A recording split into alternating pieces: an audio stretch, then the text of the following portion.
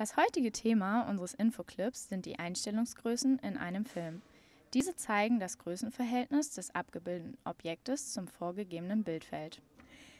Kommen wir zu der ersten Einstellung, die extreme Totale, im Englischen auch Extreme Longshot. Sie wird oft für Landschaften verwendet. Man erhält einen Überblick über das Setting, also das Umfeld der Handlung. Gefühle wie Einsamkeit und Isolation, aber auch die grenzenlose Freiheit können hierdurch verstärkt werden. Die totale, auch Longshot oder Wideshot, wird häufig genutzt, um Personengruppen in ihrer Umgebung vollständig zu zeigen. Die Landschaft steht nicht mehr allein im Fokus. Diese Einstellung gibt einen Überblick über das Geschehen. Die Akteure wirken unnahbar.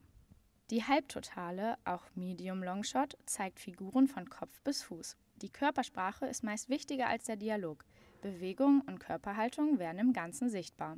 Eine weitere Einstellung ist die amerikanische, auch American Shot.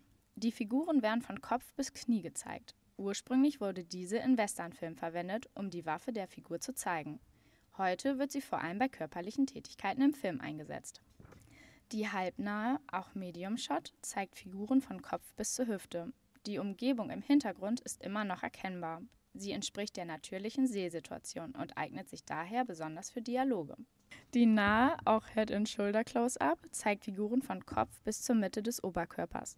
Meist wird sie für Gesprächssituationen verwendet, wo Mimik und Gestik im Fokus liegen.